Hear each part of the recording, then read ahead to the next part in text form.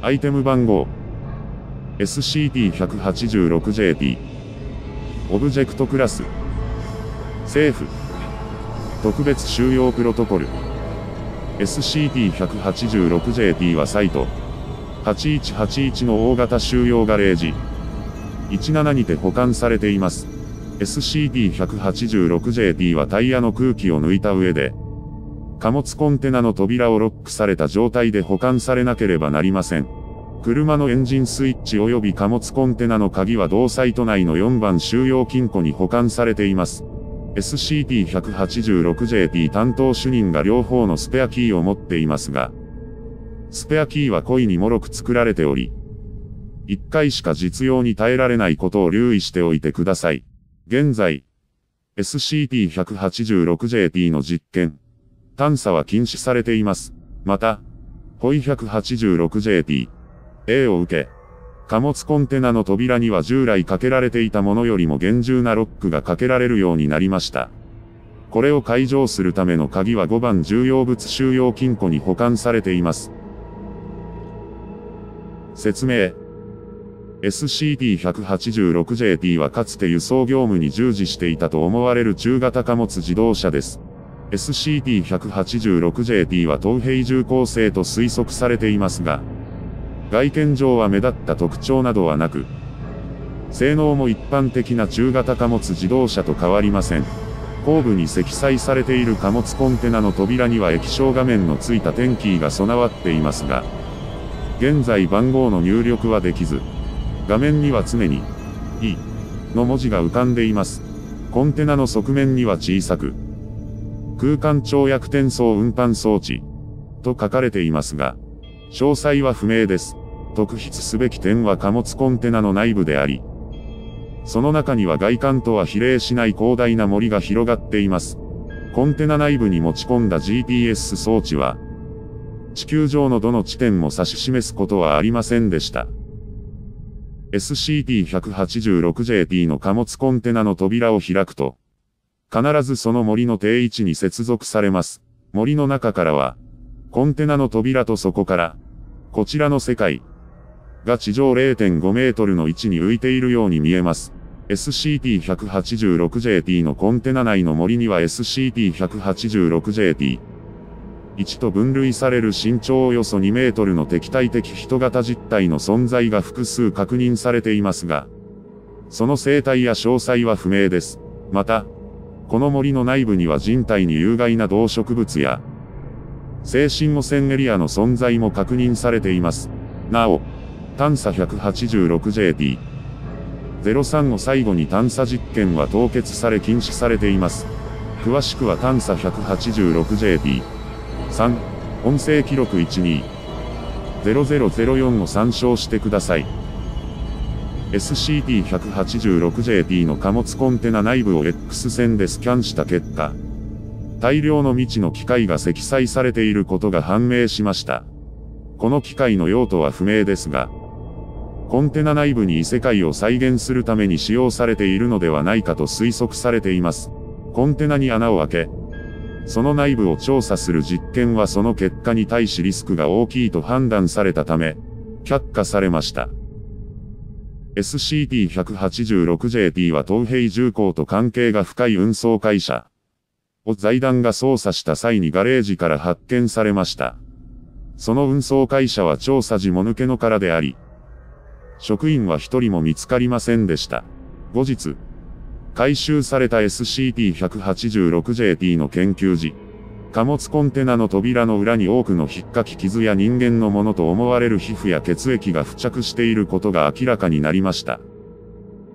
探査 186JT、02、2000年、月、日、記録用 HD カメラといくつかの採取キットを持った D、0765と D、0043が、SCP-186JT の貨物コンテナ内部の探査に派遣されました。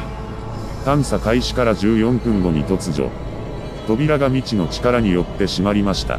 それから3時間が経過するまで、どのような方法をもってしても扉が開くことはありませんでした。扉が開いた後、二人は消えており、現在に至るまで消息不明のままです。唯一、故障した HD カメラのみ。扉から50メートル離れた場所で発見されました。ホイ 186JP。A。最近、SCP-186JP の貨物コンテナの扉を内側から叩く音が複数聞こえると報告されています。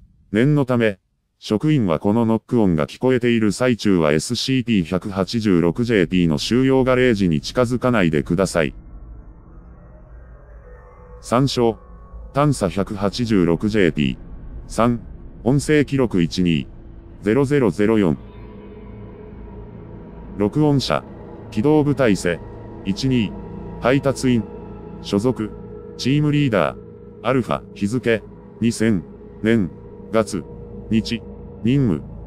SCP-186JP の貨物コンテナ内部の探査。アルファ。録音を開始。ブラボー。記録用の HD カメラの準備はいいかブラボー。大丈夫です。アルファ。よし。デルタ。カメラは持ってるな。チャーリー。サンプル採集キットは揃ってるか？チャーリー。持ってます。中身も確認済みです。アルファ。よし。小銃及びサイドアームのチェック。複数の金属音。アルファ。全員。チェックは済んだな。よし。行くぞ。210秒間。会話なし。舞台の歩く音のみが聞こえる。ブラボー。普通の森にしか見えないな。チャーリー。ああ。だが少し霧がかってるのがどうも。不気味だ。デルタ。足元に注意してください。穴があります。ブラボー。おっと。目ざといな。新入り。助かった。チャーリー。ん。割と深いぞ。軍用ライトで照らしてもそこが見えない。アルファ。えーと。穴の直径は50センチメートルほど。よしデルタ。調査だ。発煙筒を落とせ。ノイズ。デルタが発煙筒を焚いた音と思われる。デルタ、落としました。200秒間、会話なし。デルタ、まだ落ちてます。ブラボー、おいおい。どんだけ深いんだよこいつ。チャーリー、落ちてたらやばかったな。ブラボー、シャレになんねえよ。クソ。アルファ、これ以上ここにいても時間の無駄だな。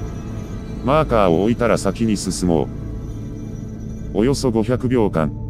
舞台の進む音が録音されている。チャーリー、見ろよ。あの木のコブ。人の顔に見える。デルタ。自分には本当に人の顔に見えますが。ブラボー。今、一瞬笑ったよな。アルファ。お前たち、任務に集中しろ。デルタ。すいません。ブラボー。でも本当に笑ってたぜ。400秒間。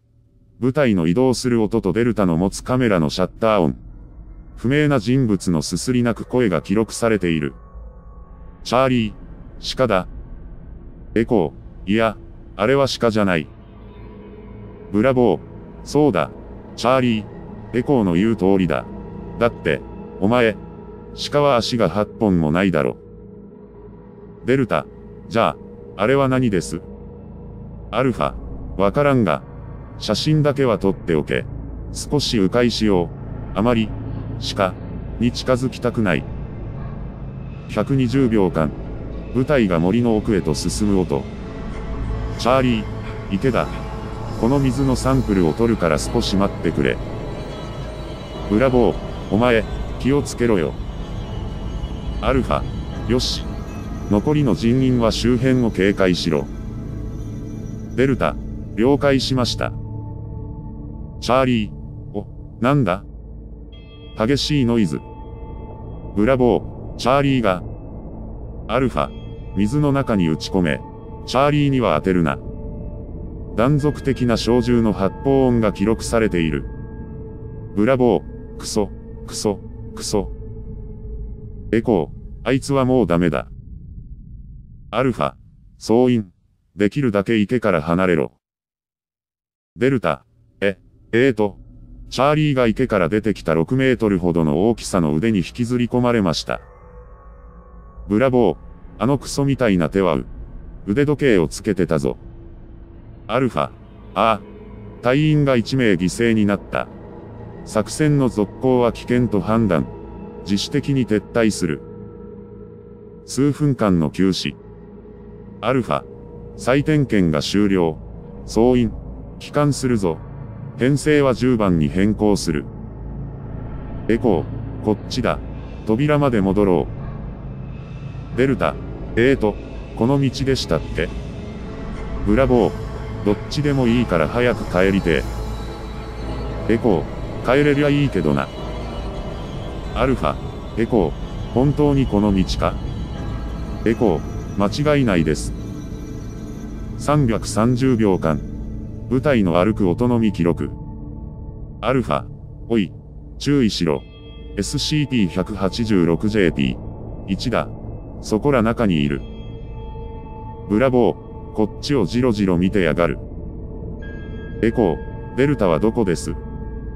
ブラボー、そこに、は、え、あいつはアルファ、ああ、デルタが消えた。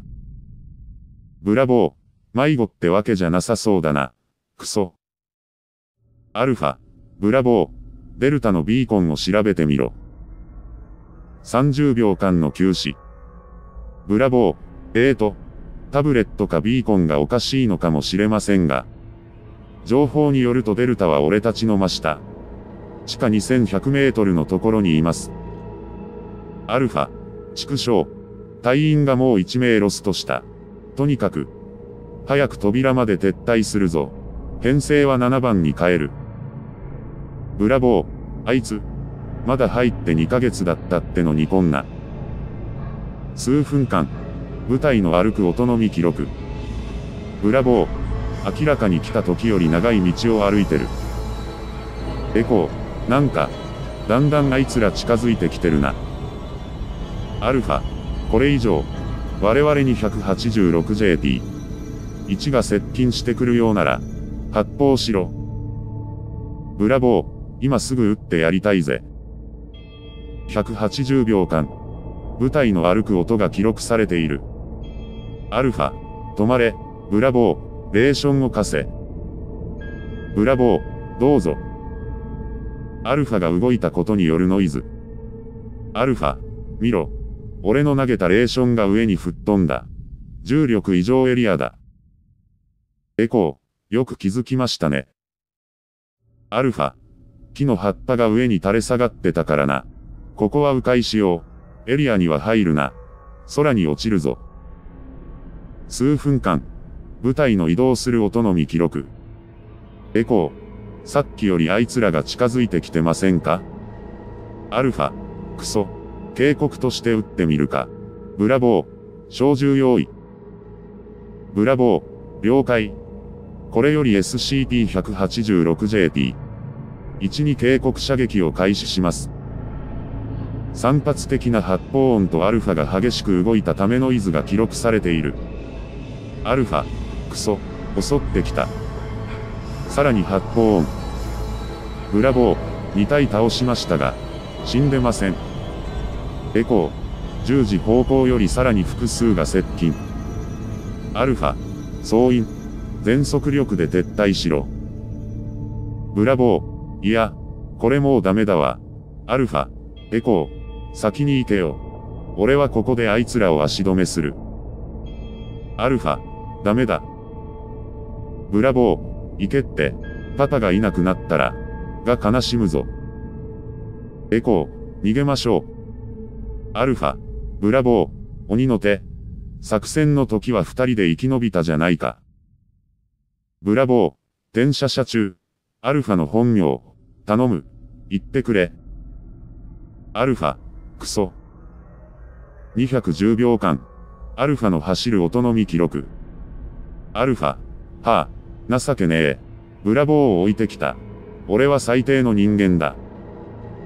エコー、多分、彼なら大丈夫です。平気ですよ。アルファ、そう願おう。数分間、アルファの歩く音のみ記録。アルファ、マーカーだ。近くに扉があるはずだ。エコー、よかった。この後、機動部隊セ、12、配達員のチームリーダー、アルファは無事に貨物コンテナの扉までたどり着き、待機していた職員により救出されました。